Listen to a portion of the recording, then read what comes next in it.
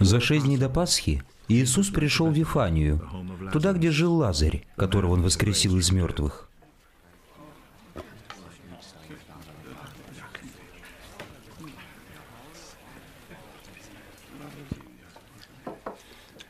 Здесь в честь Иисуса был устроен обед. Марфа накрывала стол. Лазарь вместе с другими гостями и Иисусом тоже был у стола.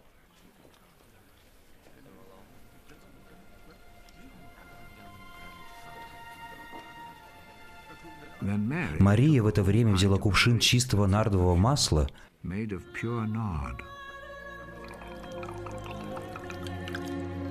И вылила его на ноги Иисусу. И стала вытирать его ноги своими волосами. Весь дом наполнился ароматом.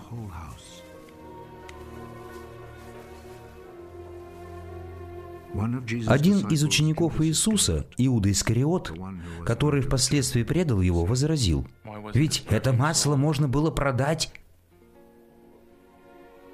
за 300 динариев».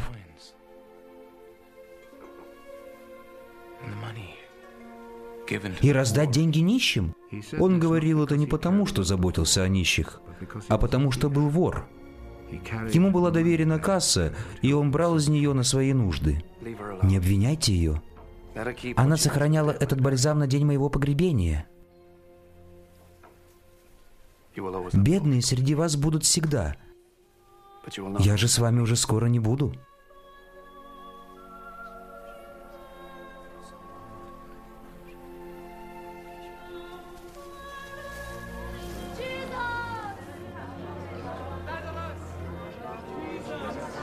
Тем временем собралась большая толпа иудеев. Они узнали, что Иисус был в Вифании, и пришли не только для того, чтобы увидеть Иисуса, но и посмотреть на Лазаря, которого Иисус воскресил из мертвых. Священники к тому времени решили убить и Лазаря, потому что из-за него многие иудеи приходили к Иисусу и верили в Него. На следующий день весь народ, пришедший на праздник Пасхи, прослышал о том, что Иисус идет в Иерусалим – они взяли пальмовые ветви и вышли навстречу ему с возгласами. «Благословенен идущий во имя Господа! Благословенен царь Израиля!» Иисус нашел молодого осленка и сел на него, как об этом написано в Писании. «Не бойся, дочь Сиона, смотри, вот идет царь твой, сидя на молодом осленке».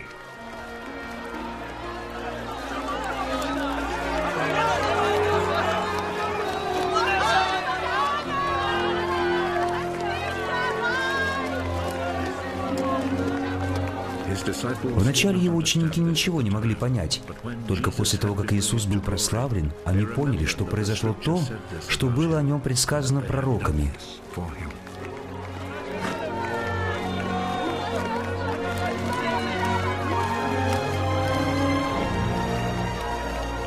Люди, бывшие с Иисусом, когда Он воскресил Лазаря из мертвых, продолжали рассказывать об этом случае. А сейчас они вышли встречать Его, когда узнали, что это тот, кто совершил такое чудо. Фарисеи с досады говорили друг другу, «Ничего не помогает. Посмотрите, весь мир идет за ним».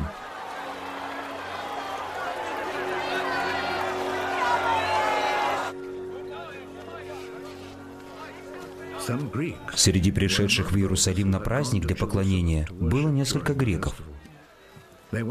Они подошли к Филиппу, ученику Иисуса, который был родом из Вифсаиды, и попросили, «Господин, мы бы хотели увидеть Иисуса». Филипп пошел к Андрею, и они вдвоем пошли и рассказали об этом Иисусу.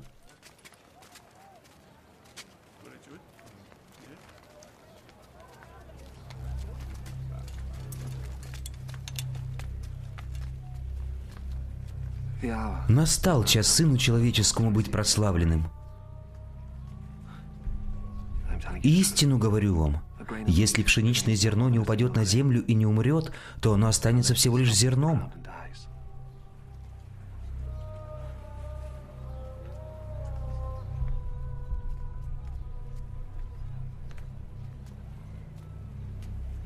Если же оно умрет, то из него произойдет много зерен. Тот, кто любит свою жизнь в этом мире, тот потеряет ее. Но тот, кто возненавидит свою жизнь в этом мире, тот сохранит ее для вечной жизни.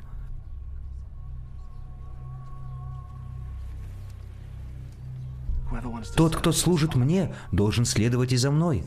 Где я буду, там будут и мои слуги. Отец мой прославит того, кто служит мне.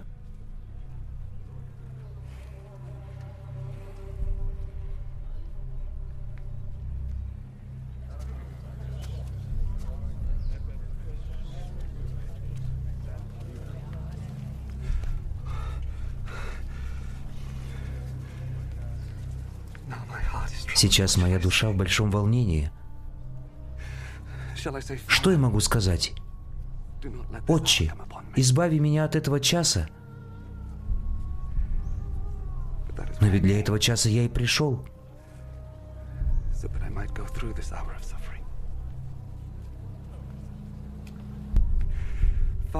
Отче, да прославится имя Твое.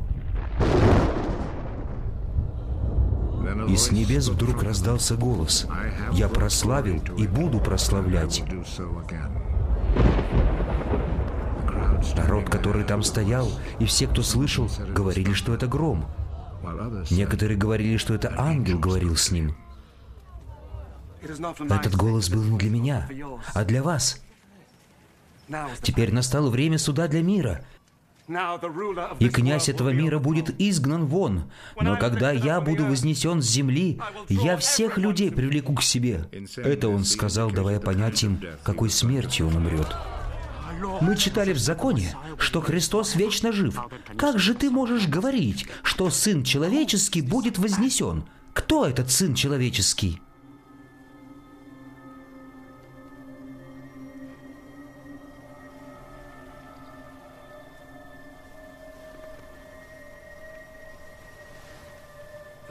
Некоторое время с вами еще будет свет. Ходите, пока есть свет, и пока вас не покрыла тьма. А тот, кто ходит во тьме, не знает, куда он идет. Веруйте свету, пока он есть, чтобы вам стать сынами света.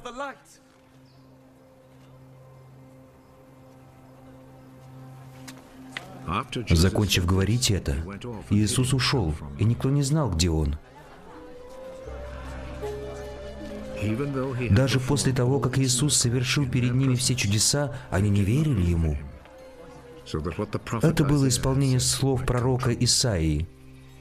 «Господи, кто поверил сказанному нами, и кому открылась сила Господа?»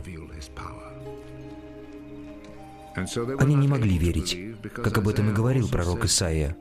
«И глаза ослеплены, и сердца их окаменели, так что они не могут видеть глазами, не могут понять сердцем и не обратятся, чтобы я исцелил их».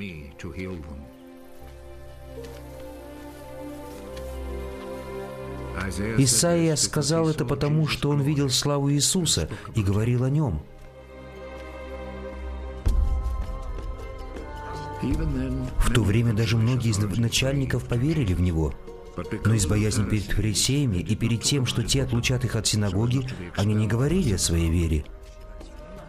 Похвала людей была для них дороже одобрения Бога.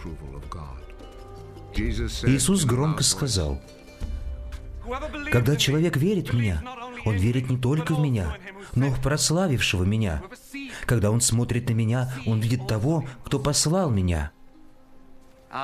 Я пришел в мир как свет, чтобы никто из тех, кто верит в Меня, не остался во тьме. Я не сужу тех, кто слушает мои слова, но не делает того, что я говорю. Я пришел не судить мир, а спасти его. Для того, кто отвергает меня и не принимает мои слова, есть судья. И мои слова осудят его в последний день. Я ведь не от себя говорю. Но Отец, который послал меня, заповедал мне, что говорить и как говорить. Я знаю, что Его заповедь дает жизнь вечную. Поэтому, что бы я ни говорил, я говорю по велению Отца моего.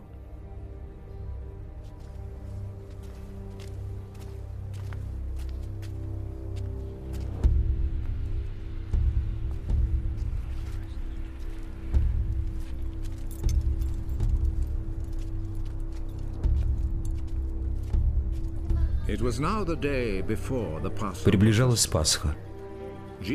Иисус знал, настал час ему покинуть этот мир и вернуться к Отцу. Он любил своих учеников, которые оставались жить в этом мире, любил беспредельно и показал это делом.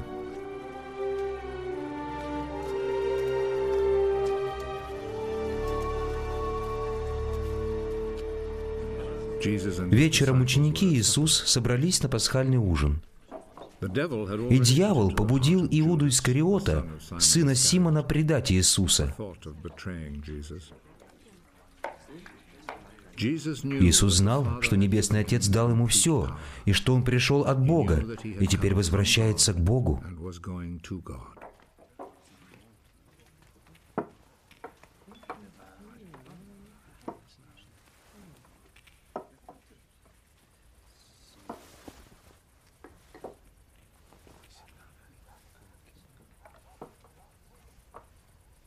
Он встал, снял с себя верхнюю одежду и опоясался полотенцем.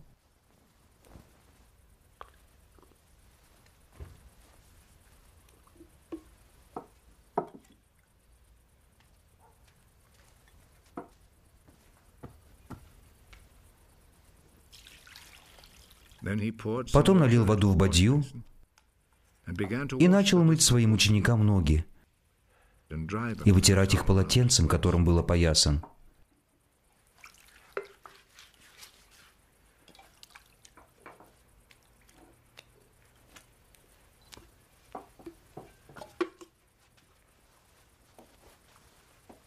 Он подошел к Симону Петру. «Господи, ты хочешь мыть мне ноги?»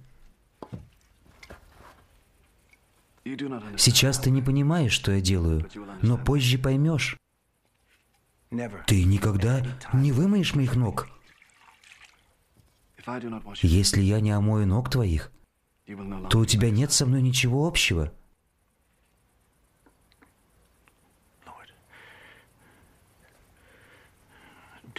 Тогда, Господи, мой не только мои ноги, но и руки, и голову. Чистому надо вымыть только ноги, так как все тело его чисто.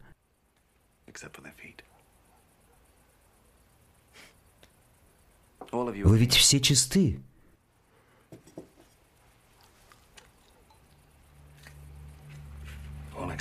Кроме одного. Иисус знал, кто предаст его. И поэтому сказал, что все чисты, кроме одного.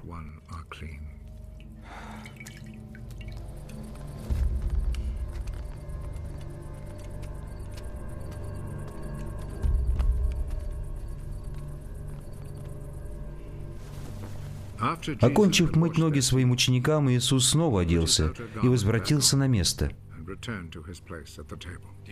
Вы понимаете, что я сделал для вас? Вы называете меня учителем и Господом, и правильно делаете, потому что я и есть учитель и Господь. Поэтому если я, ваш Господь и учитель, помыл вам ноги, то вы тоже должны мыть ноги друг другу. Я показал вам пример, чтобы и вы делали то же, что и я. Истину говорю вам.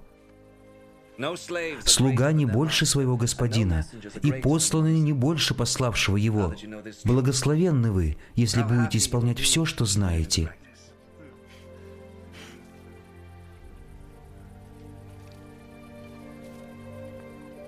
Я не говорю о всех вас – я знаю тех, кого я избрал. Но должны исполниться слова Писания. Тот, кто ест со мной хлеб, поднял свою пету против меня. Говорю вам об этом заранее, чтобы, когда это произойдет, вы поверили, что я и есть тот, за кого себя выдаю. Истину говорю вам, кто принимает посланного мною, тот принимает и меня. И кто принимает меня, тот принимает пославшего меня.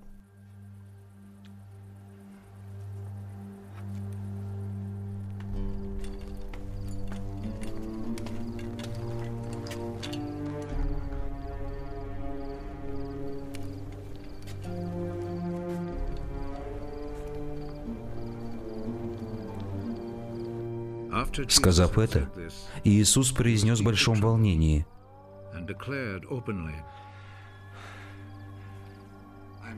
«Истину говорю вам, один из вас предаст меня».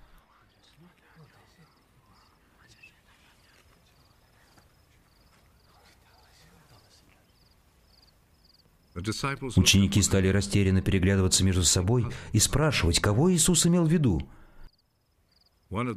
Один из учеников, которого Иисус любил, лежал у стола рядом с ним.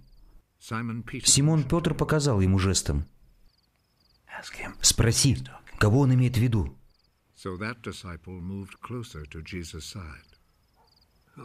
«Кто это, Господи?»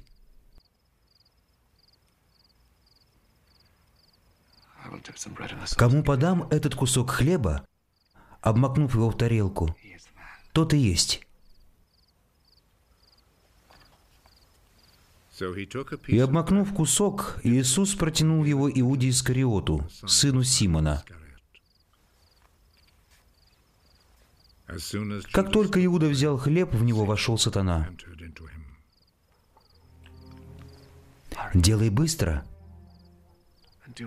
то, что ты собираешься делать. Никто за столом не понял, зачем Иисус сказал ему это. Иуда отвечал за кассу, и некоторые подумали, что Иисус попросил его купить необходимое к Пасхе, или же выделить часть денег и раздать бедным. Взяв хлеб, Иуда сразу вышел. Judas accepted the bread and went out at once.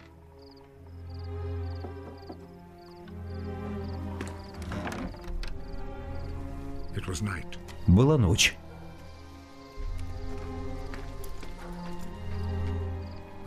Когда Иуда вышел, Иисус сказал, «Настало время Сыну Человеческому прославиться, а в нем прославляется Бог.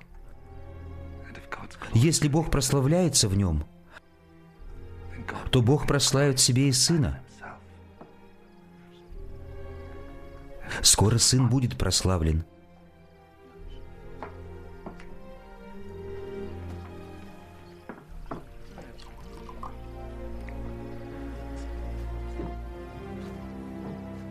Дети мои, недолго мне еще быть с вами. Вы будете искать меня, и, как я говорил иудеям, так говорю и вам. Туда, куда я иду, вы не сможете прийти.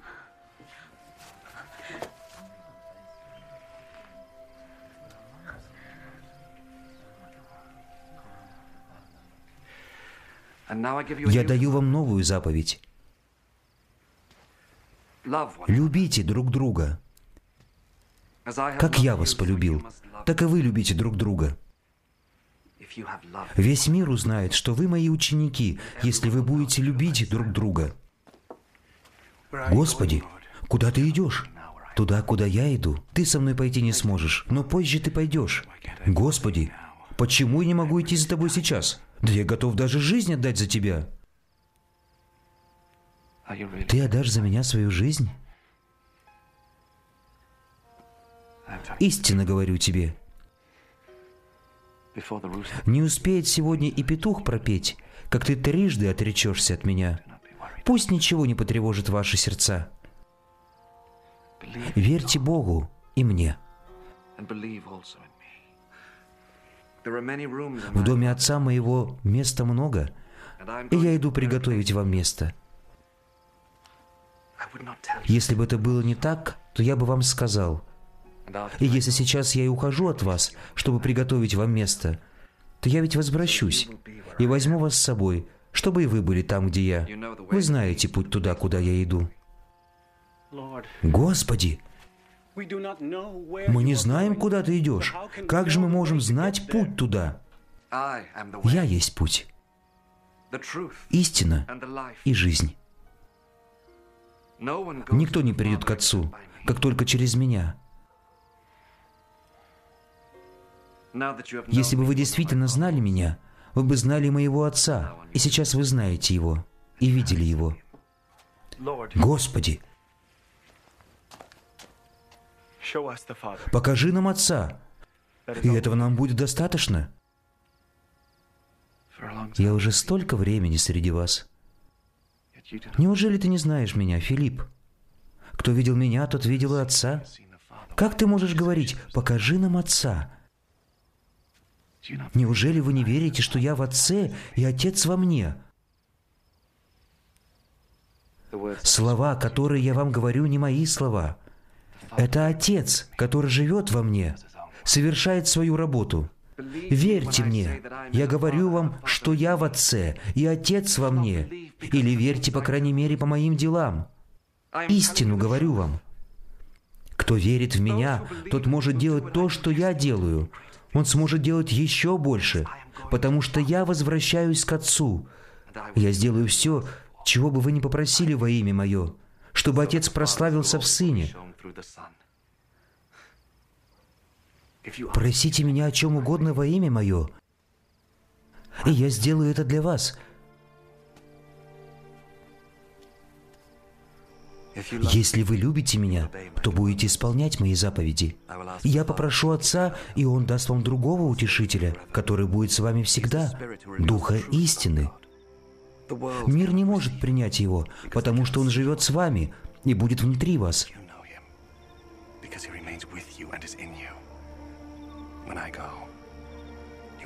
Я не оставлю вас сиротами. Я вернусь к вам.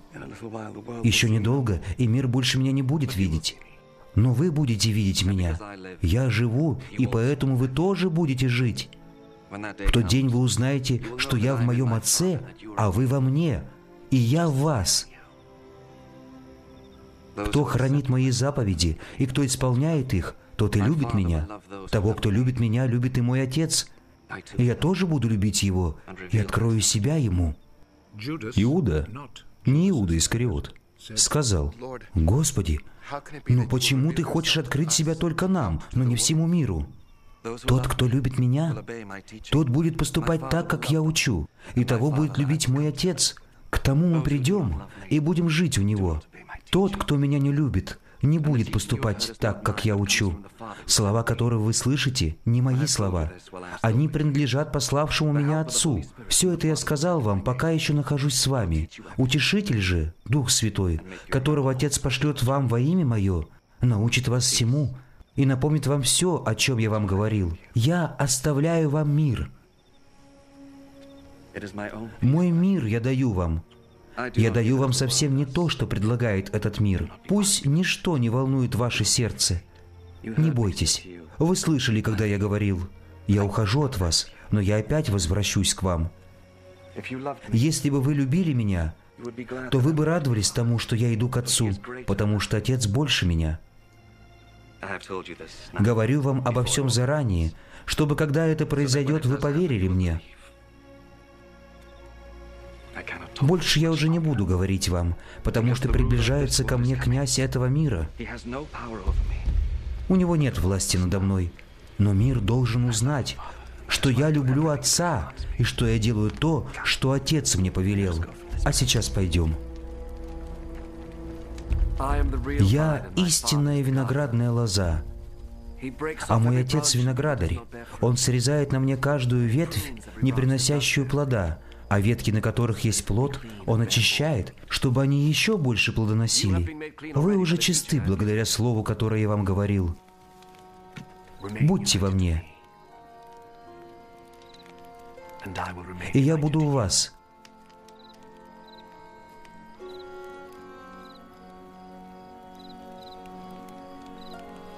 Ветвь сама по себе плодов приносить не может. Она должна быть на лозе.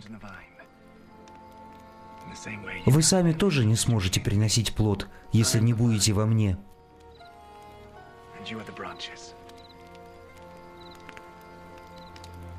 Я лоза, а вы ветви. Когда человек будет во мне, тогда и я буду в нем. И он принесет богатый урожай. Без меня вы не можете делать ничего. Кто не во мне, тот как засохшая срезанная ветка. Такие ветки подбирают, бросают в огонь и сжигают. Если вы будете во мне, и мои слова будут в вас, то все, о чем бы вы ни попросили, вы получите. Мой Отец будет прославлен. Как Отец любит меня, так и я полюбил вас. Оставайтесь в моей любви. Если вы послушны моим заповедям, то вы прибудете в моей любви, так как и я послушен заповедям моего Отца и живу в Его любви. Я говорю вам это, чтобы вы испытали мою радость, и чтобы ваша радость была полной. Любите друг друга, как и я вас полюбил. Никто не может любить больше, чем тот, кто отдает жизнь свою за друзей. Если вы делаете то, что я вам повелеваю, то вы мои друзья. Я больше не называю вас слугами, потому что слуга не знает, что делает его хозяин. Напротив, я называю вас друзьями, потому что я открыл вам все, чему я научился у моего отца. Вы меня не выбирали. Я сам вас выбрал чтобы вы шли и приносили плод без устали, и тогда Отец, видя это, даст вам все, о чем бы вы не попросили Его во имя Мое.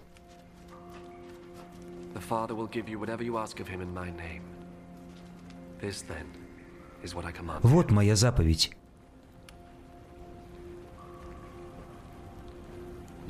Любите друг друга. Если мир вас ненавидит, помните, что он ненавидел меня.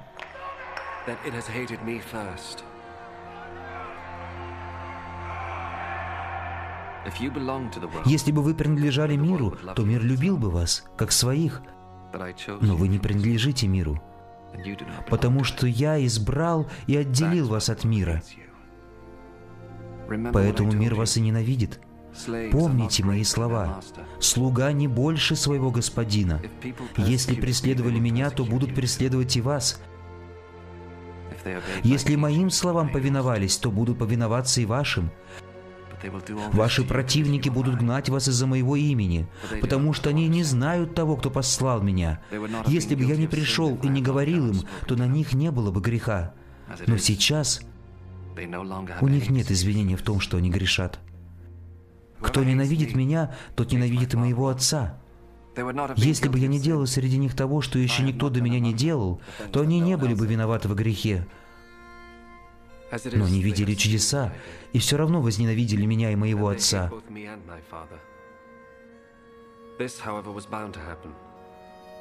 В этом исполняется пророчество. Они ненавидели меня ни за что. Когда придет Утешитель, Дух истины, которого я пошлю к вам, и который исходит от Отца, Он будет свидетельствовать обо мне. И вы тоже должны свидетельствовать, потому что вы были со мной с самого начала. Я говорю вам все это, чтобы вам не оказаться обманутыми. Вас отлучат от синагог. Даже наступит такое время, когда убивающие вас будут думать, что они тем самым служат Богу. Они будут так поступать, потому что не знают ни меня, ни моего Отца. Я вас предупреждаю заранее, чтобы когда это время наступит, вы вспомнили мое предупреждение. Вначале я не говорил вам этого, потому что я сам был с вами. Я возвращаюсь к тому, кто послал меня, но никто из вас уже не спрашивает, куда я иду. Я вижу, что от моих слов сердце ваше наполнилось печалью. Но верьте мне, я ухожу ради вашего же блага. Если я не уйду, то утешитель не придет к вам. Но если я уйду, то пошлю его к вам. Когда он придет, то покажет миру, что такое грех, праведность и суд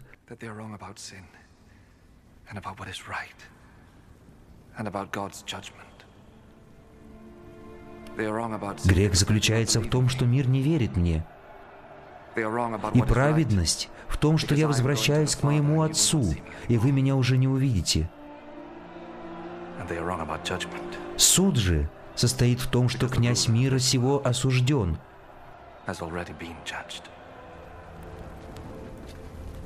Многое мне еще хотелось бы вам сказать, но вы сейчас не сможете понять.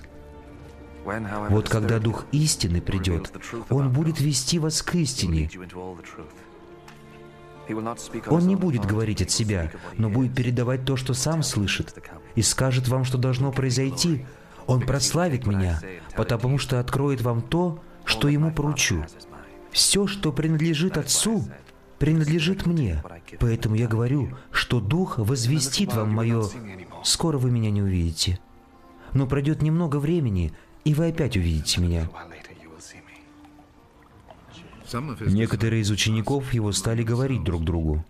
Что это он имеет в виду, говоря, «Скоро вы меня не увидите, но пройдет немного времени, и вы опять увидите меня».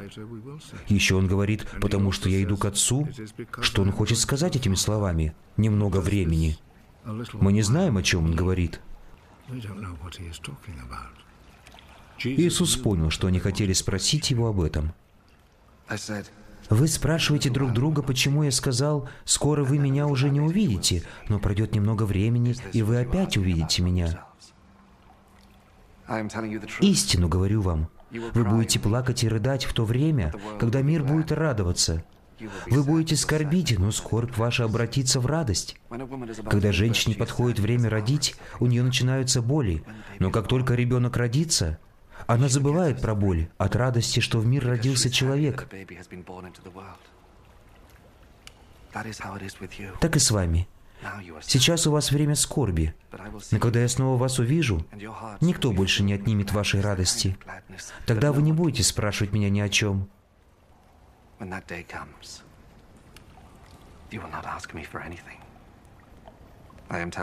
Истину говорю вам. Отец мой даст вам все, чего вы не попросите у Него во имя Мое.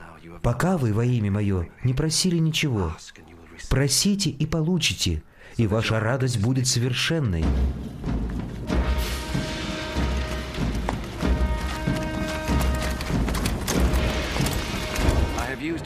Я говорю вам примерами. Наступает время, когда я не буду говорить примерами, а скажу вам прямо о моем Отце – в тот день вы будете просить во имя Мое, но я уже не буду просить Отца о вас, потому что Отец сам любит вас. Он любит вас, потому что вы полюбили Меня и поверили, что я пришел от Бога. Я пришел в этот мир от Отца, и сейчас я покидаю этот мир и возвращаюсь к Отцу. Тогда его ученики сказали ему, «Сейчас ты говоришь ясно, без примеров. Сейчас мы понимаем, что ты знаешь все и не нуждаешься в том, чтобы тебя спрашивали. Поэтому мы верим, что ты пришел от Бога».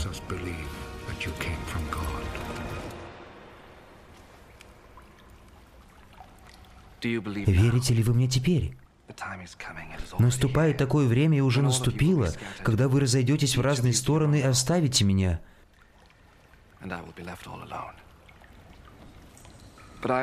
но я не один. Со мной мой Отец. Я сказал вам все это, чтобы вы нашли во мне мир. В этом мире вас ожидают невзгоды, но не отчаивайтесь. Я победил мир. Закончив говорить это, Иисус поднял глаза к небу и сказал, «Отец, Настало время. Прославь Твоего Сына, чтобы Сын Твой мог прославить Тебя. Ты дал Ему власть над всеми, чтобы Он мог давать вечную жизнь всем тем, кого Ты дал Ему. Ведь вечная жизнь состоит в познании Тебя, единственного истинного Бога, и Иисуса Христа, которого Ты послал. Я прославил Тебя на земле, совершив работу, которую Ты мне поручил. Отче, прославь меня у Тебя самого, той славой, которую я имел еще до начала существования мира. Я открыл имя Твое тем, кого Ты взял из мира и дал мне. Они были Твоими, и Ты дал их мне. И они сохранили Слово Твое. Они поняли, что все, что Ты дал мне, исходит от Тебя — я передал им слова, которые Ты дал мне. Они приняли их и действительно поверили тому, что Ты послал меня. Я молюсь о них. Молюсь не обо всем мире, но о тех, кого Ты дал мне.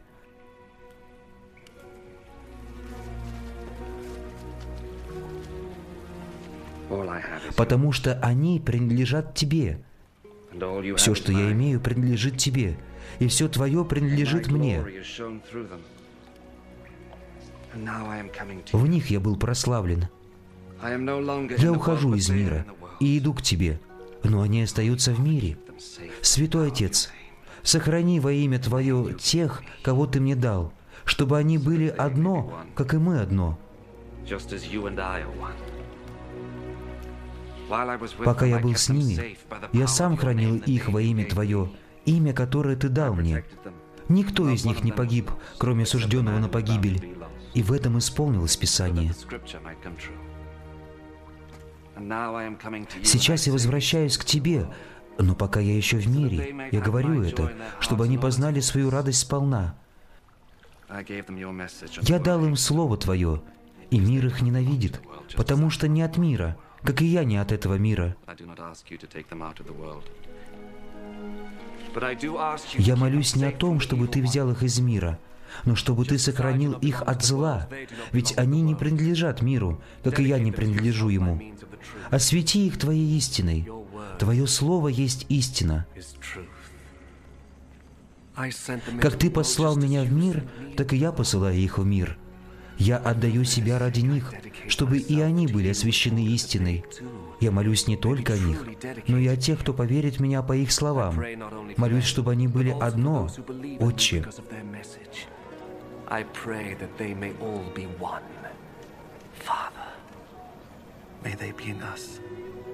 Пусть же они будут в нас, как Ты во мне и я в Тебе, чтобы мир поверил, что Ты послал меня. Я наделил их славой, которую Ты дал мне, чтобы они были одно. Я в них, а Ты во мне. Пусть же они будут в совершенном единстве, чтобы мир узнал, что Ты послал меня и что Ты любишь их так, как меня. Отче, я хочу, чтобы те, кого Ты дал мне, были со мной там, где я. Хочу, чтобы они увидели мою славу, славу, которую Ты дал мне, потому что Ты полюбил меня еще до создания мира. Праведный Отец, хотя мир и не знает Тебя, но я знаю Тебя, и они знают, что Ты послал меня – я открыл им Твое имя и еще открою, чтобы та любовь, которой Ты меня любишь, была в них, и чтобы я был в них.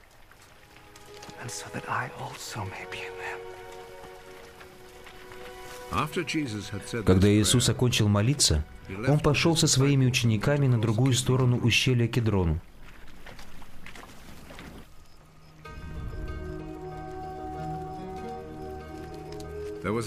Там был оливковый сад, и Иисус и ученики его пошли туда.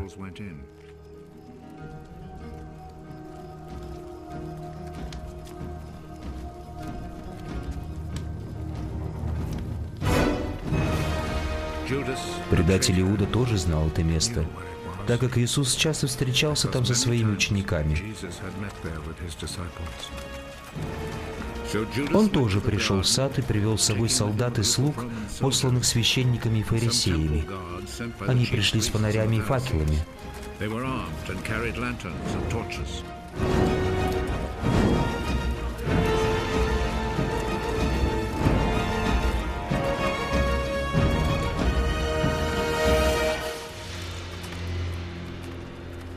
Иисус знал все, что должно было с ним произойти.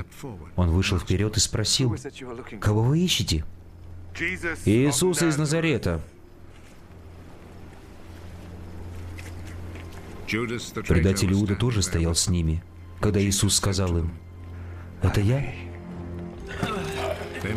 Они отступили назад и упали на землю.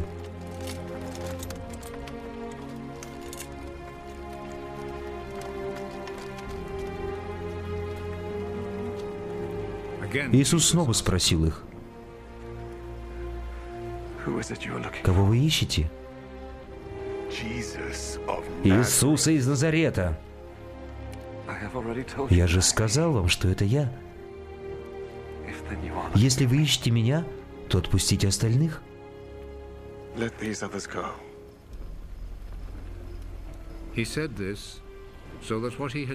Тем самым исполнились его слова.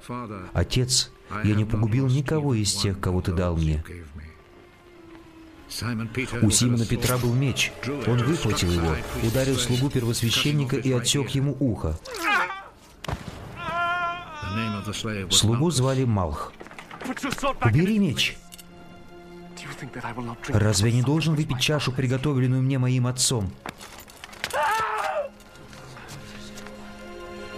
Солдаты и иудейские начальники арестовали Иисуса. Они связали его и привели сначала к Анне.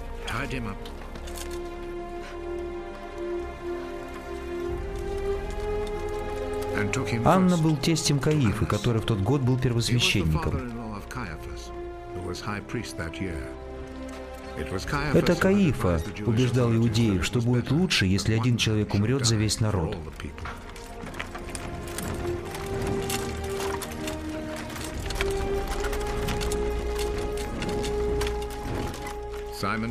Симон Петр и еще один ученик шли следом за Иисусом. Первосвященник знал этого ученика, и тот смог пройти с Иисусом во двор, а Петр остался снаружи у ворот.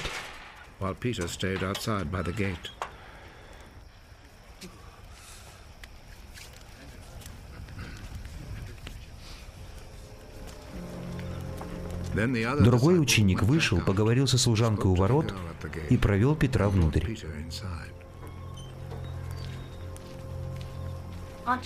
Ты случайно не один из учеников этого человека? Нет. Было холодно. Слуги и начальники разложили костер и грелись у него. Петр тоже стоял у костра. Первосвященник тем временем допрашивал Иисуса о его учениках и его учении. Иисус ответил, «Я говорил открыто всему миру. Я всегда учил в синагогах или храме, там, где собираются все иудеи, я не говорил ничего тайного.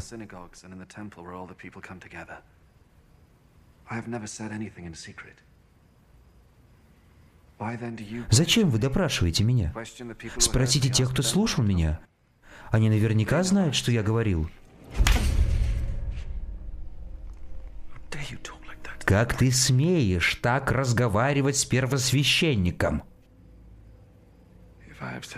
Если я сказал что-то не так, то скажи, что я сказал не так. Если же я прав, то зачем ты бьешь меня?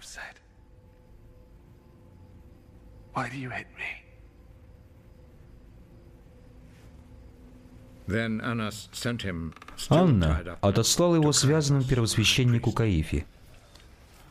Петр все стоял и грелся у костра, когда его еще раз спросили, «Ты случайно не один из его учеников?» Нет?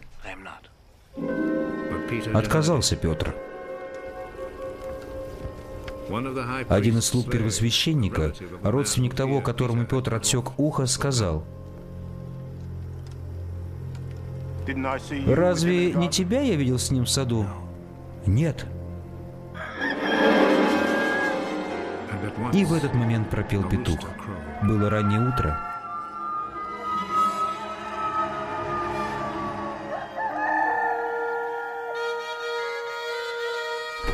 Иудеи привели Иисуса от Каифы во дворец римского правителя.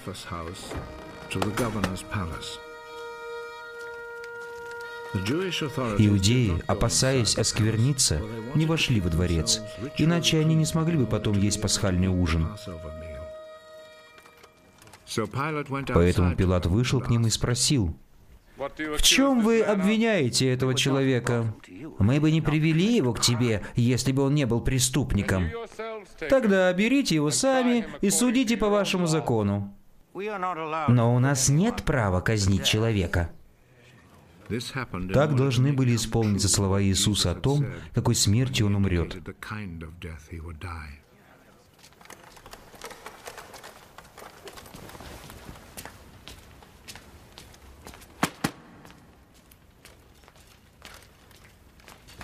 Пилат вошел внутрь дворца и вызвал Иисуса.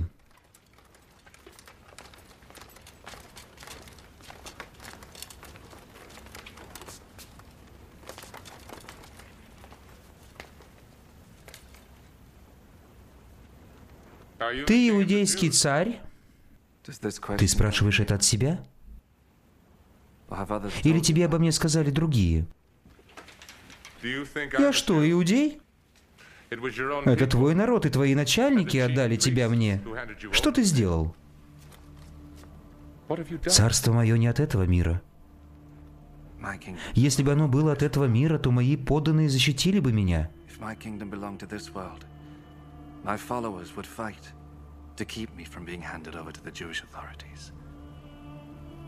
Нет. Мое царство не от этого мира. Так значит, ты все-таки царь. Ты верно сказал?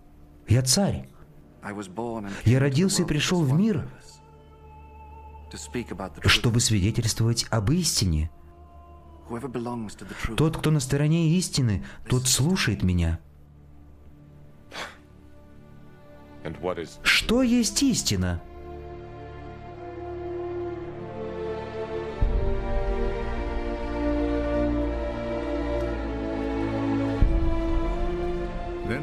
Потом Пилат опять вышел к народу и сказал, «Я не нахожу никакой вины в этом человеке, но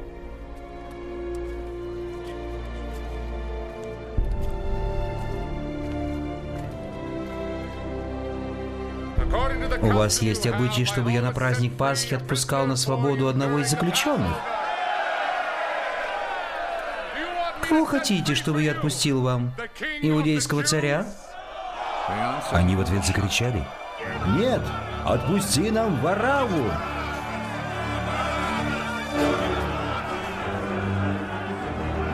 Варава же был разбойником.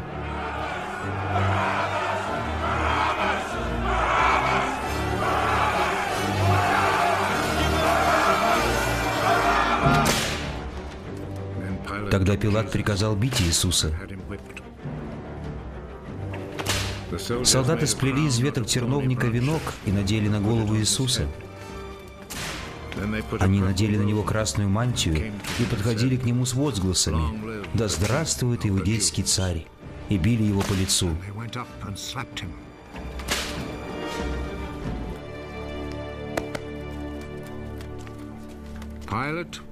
Пилат вышел еще раз и сказал иудеям,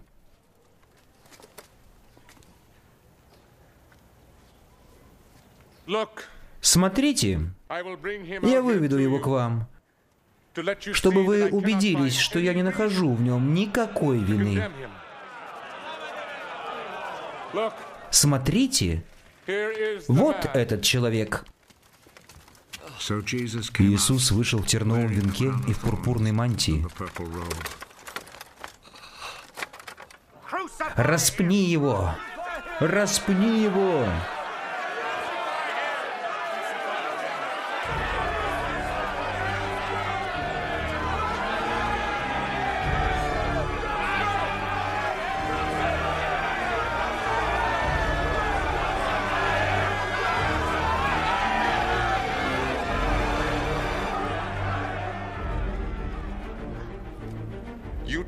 Берите сами его и распинайте. Я же не нахожу в нем никакой вины. У нас есть закон. И по нашему закону он должен умереть, потому что называет себя Сыном Божьим.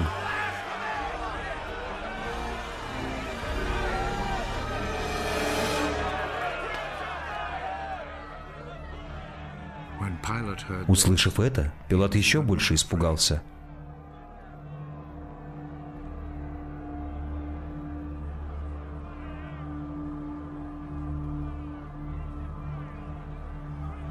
Он опять вошел во дворец и спросил Иисуса, «Откуда ты?»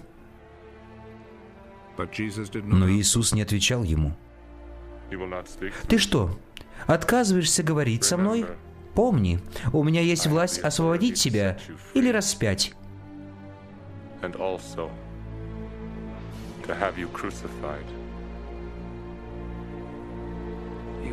У тебя есть власть надо мной только потому, что она была дана тебе свыше. Поэтому на том, кто предал меня тебе, больший грех. Услышав это, Пилат пытался освободить Иисуса.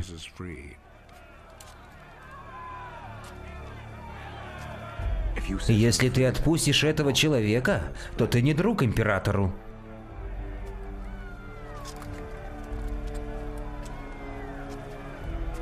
Каждый, кто заявляет, что он царь, враг императору.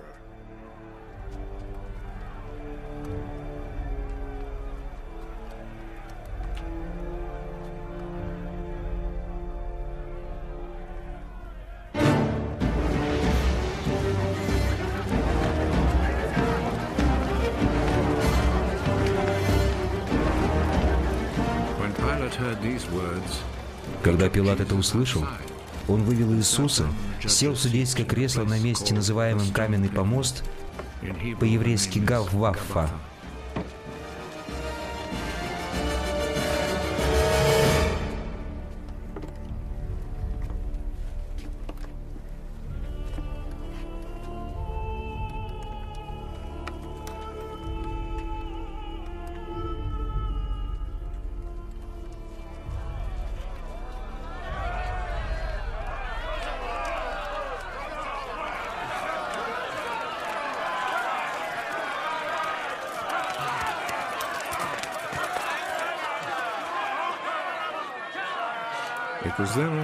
Все это происходило в пятницу перед Пасхой.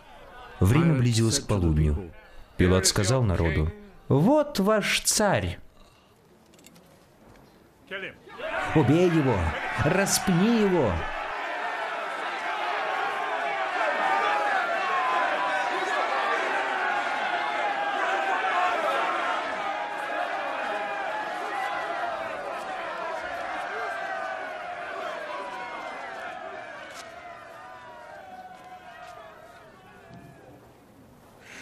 Вы просите меня распять вашего царя? У нас нет царя, кроме императора. Затем Пилат отдал им Иисуса на распятие.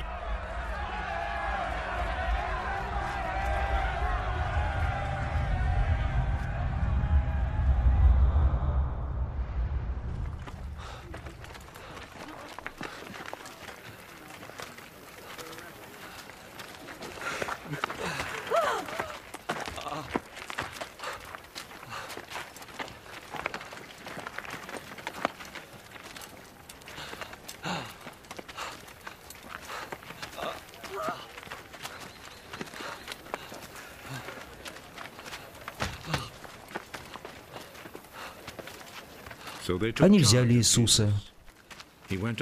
Иисус пошел, неся свой крест на лобное место, по-еврейски называемое Голгофа.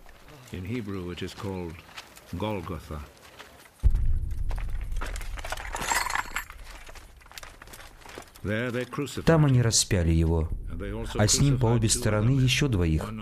Иисус был в середине.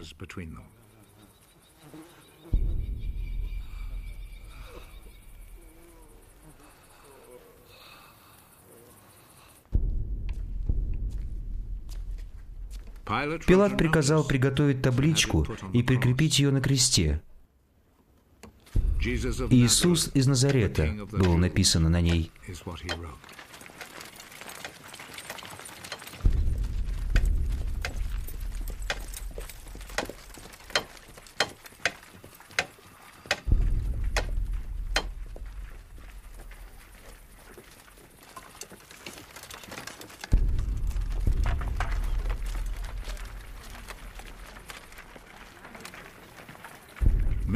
Надпись эту читало много иудеев, так как место распятия Иисуса было близко к городу.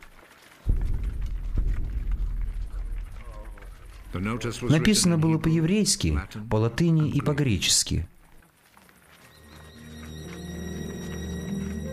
Начальники иудеев возразили Пилату, «Не пиши, иудейский царь, а напиши, «Этот человек заявляет, я иудейский царь».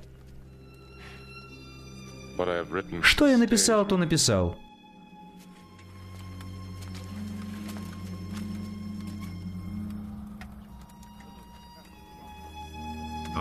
Когда солдаты распяли Иисуса, они взяли его верхнюю одежду и разделили на четыре части, каждому по одной.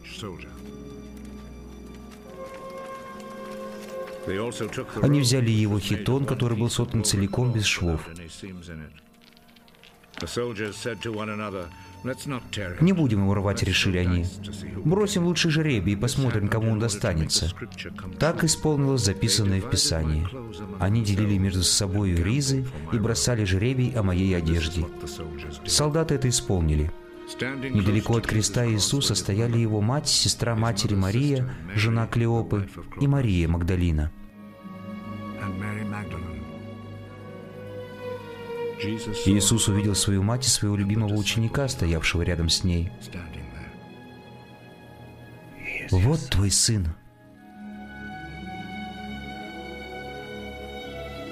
Своему же ученику он сказал, «Вот твоя мать!»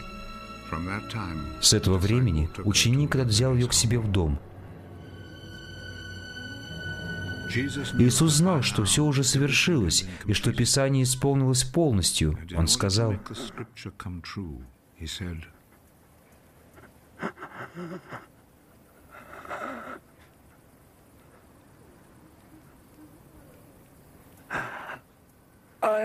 «Хочу пить». Там стоял кувшин с дешевым винным уксусом, и солдат, обмочив в него губку, надел его на палку и поднял к губам Иисуса.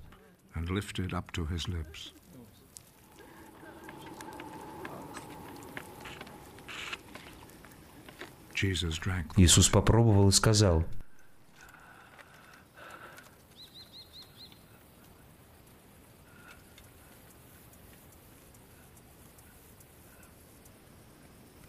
«Совершилось».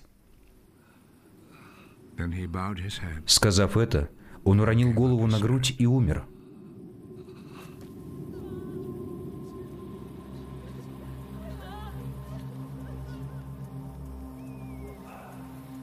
Потом иудеи попросили Пилата, чтобы распятым позволили перебить ноги и снять их тела с крестов.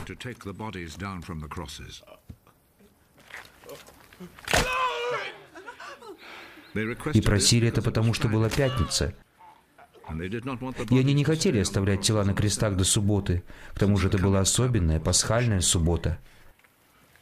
Солдаты пришли и перебили ноги сначала одному распятому, затем другому.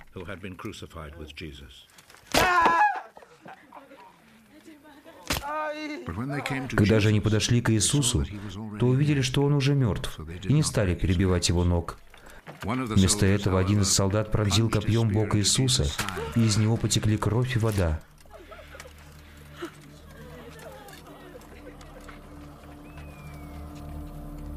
And at once blood and water poured out.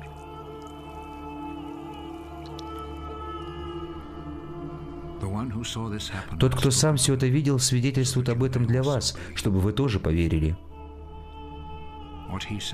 Его свидетельство истинно, и он знает, что говорит правду. Все это произошло, чтобы исполнились слова Писания.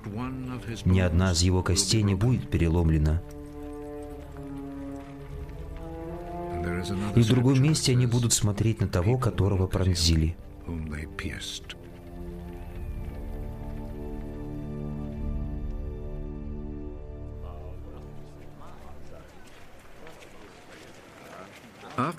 Позже Иосиф из Аримафеи попросил Пилата отдать ему тело Иисуса. Иосиф был учеником Иисуса, но тайным, из страха перед иудеями. С позволения Пилата он пришел и забрал тело Иисуса. С Иосифом был Никодим, который как-то приходил к Иисусу ночью. Он взял с собой около ста фунтов смеси из мира и алоэ. Они сняли тело Иисуса и завернули его вместе с бальзамом в полотно из льняной ткани.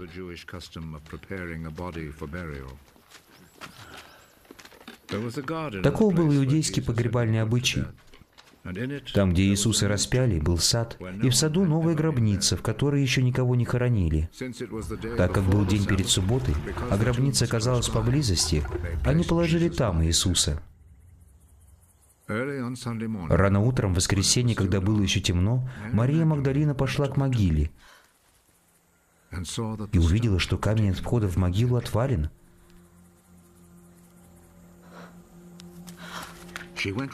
Она побежала к Симону Петру и к другому ученику, которого Иисус любил.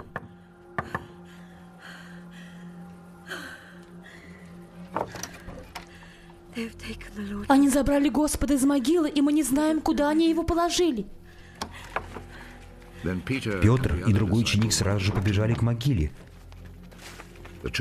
Они оба бежали, но второй ученик обогнал Петра и прибежал к могиле первым. Он заглянул вовнутрь и увидел длинные полотна, но внутрь не зашел.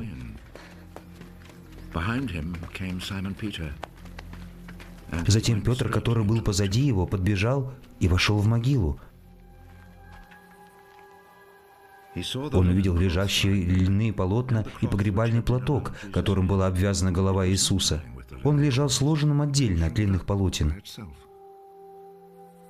Тогда и другой ученик, прибежавший к могиле первой, тоже вошел внутрь.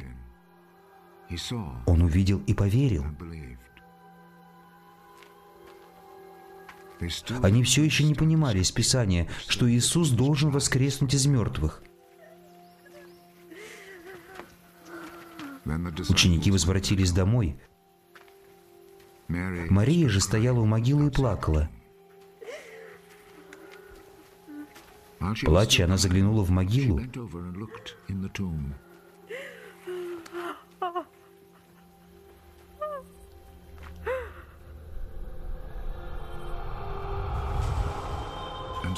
И увидела двух ангелов в белом. Они сидели там, где раньше лежало тело Иисуса. Один в головах и один в ногах. «Женщина, почему ты плачешь?» — спросили они. Они унесли моего Господа. И я не знаю, куда они положили его. Затем она обернулась и увидела там Иисуса. Но она не могла понять, что это был Иисус. «Женщина, почему ты плачешь? Кого ты ищешь?» Она подумала, что это был садовник, и сказала, «Господин, если это ты унес его, то скажи, куда ты положил его, и я пойду и возьму его». «Мария!» Она повернулась к нему и вскрикнула по-еврейски. «Равуни!» Это означает «учитель, не прикасайся ко мне». Потому что я еще не был у отца. Пойди лучше к моим братьям и скажи им, я возвращаюсь к моему отцу и к вашему отцу, к моему Богу и вашему Богу. Мария Магдалина пошла к ученикам и сказала, что видела Господа. И она пересказала им то, что Он ей говорил.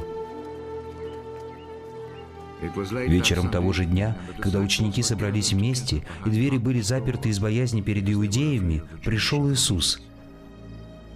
Он стал посреди них и сказал, «Мир вам!» Сказав это, Он показал им свои руки и бок.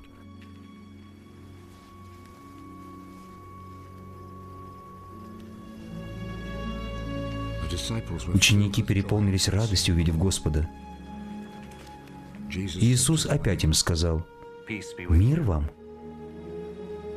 Как Отец послал меня, так и я посылаю вас».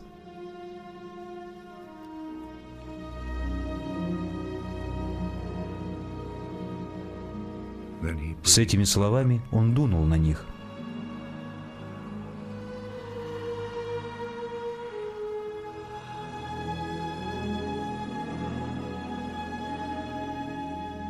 Примите Духа Святого. Если вы будете прощать грехи другим, то они будут прощены и вам. И если вы не будете прощать, то и вам грехи не простятся.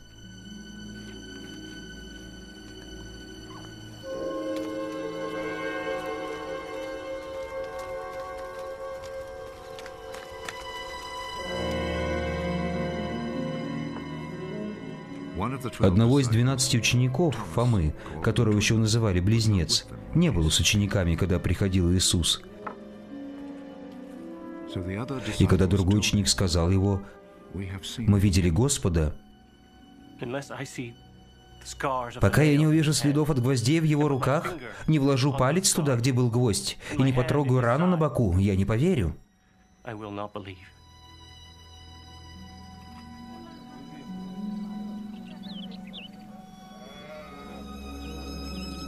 Неделю спустя ученики опять собрались в доме. На этот раз Фома был с ними. Двери были заперты, но Иисус пришел и стал посреди них.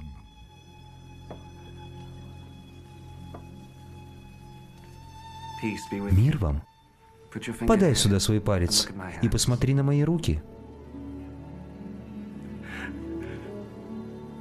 Протяни руку и потрогай мой бок. Не сомневайся и верь. Господь мой и Бог мой.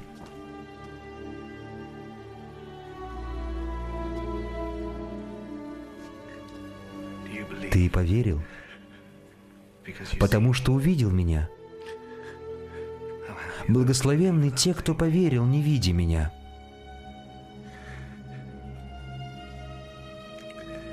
Иисус совершал в присутствии своих учеников много других знамений, о которых в этой книге не написано. А эта книга написана для того, чтобы вы поверили, что Иисус есть Мессия, Христос, Сын Божий. И веруя во имя Его, вы имели бы жизнь. Позже Иисус опять пришел к своим ученикам. Это было у Тивериадского озера.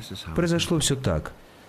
Симон Петр, Фома, называемый Близнец, Нафанаил из Каны Галилейской, сыновья Зеведеевы и два других ученика собрались вместе.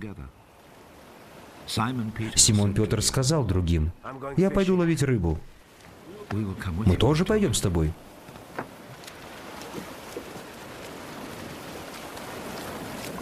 «Мы тоже пойдем с тобой», — решили они. Они вышли в море, но в ту же ночь ничего не поймали.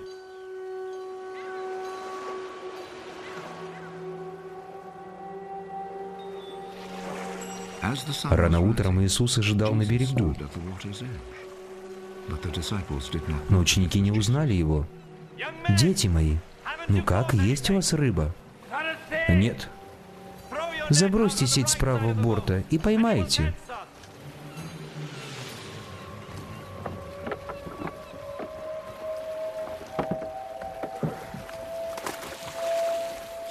Они забросили, и не могли вытащить сеть.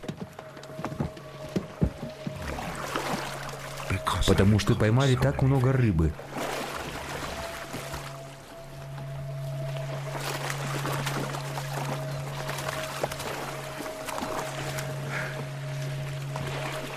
Ученик, которого Иисус любил, сказал Петру, «Это Господь!»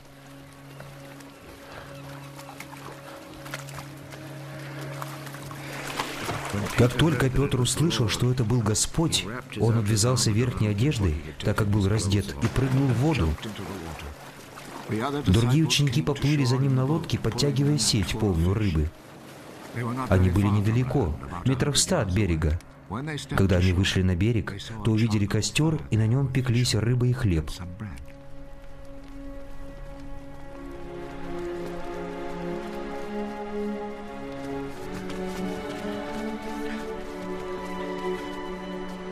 Принесите несколько рыб из тех, что вы сейчас поймали.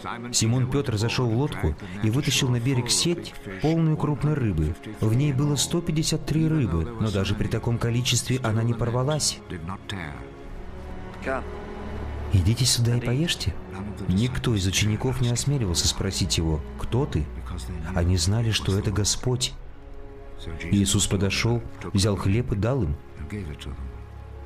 То же самое он сделал с рыбой. Это был уже третий раз, когда Иисус пришел к своим ученикам после того, как воскрес из мертвых. Когда они закончили есть, Иисус сказал Симону Петру, «Симон, сын Ионы, любишь ли ты меня больше, чем они?»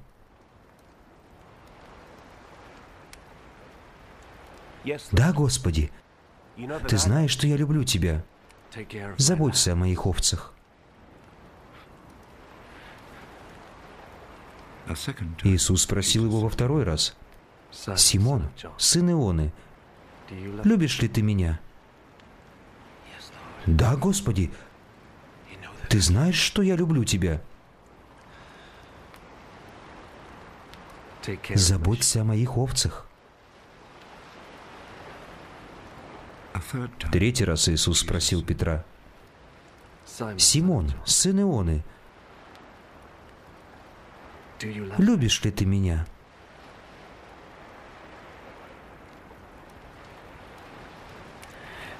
Петр опечалился, потому что Иисус спросил его уже третий раз, «Любишь ли ты меня?» И сказал ему, «Господи, ты знаешь все,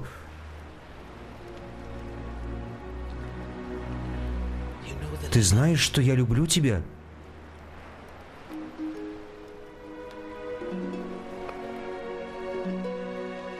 Заботься о моих овцах.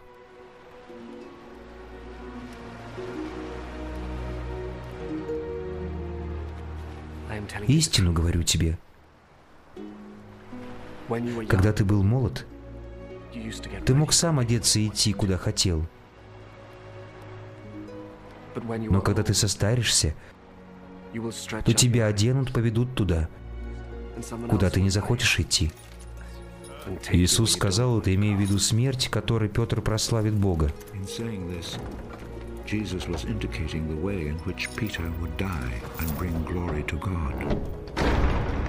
Потом Иисус сказал ему, «Иди за мной».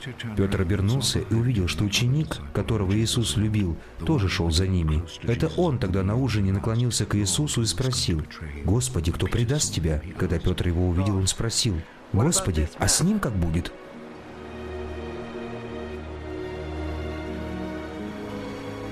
Если даже я захочу, чтобы он был жив, пока я не возвращусь, что тебе до этого? Ты иди за мной. После этих слов среди учеников распространился слух, что этот ученик не умрет. Но Иисус не сказал, что он не умрет. Он сказал лишь, «Если даже я захочу, чтобы он был жив, пока я не возвращусь, что тебе до этого?» Это и есть тот ученик, который свидетельствует об этом, и который все записал. Все мы знаем, что это свидетельство истина.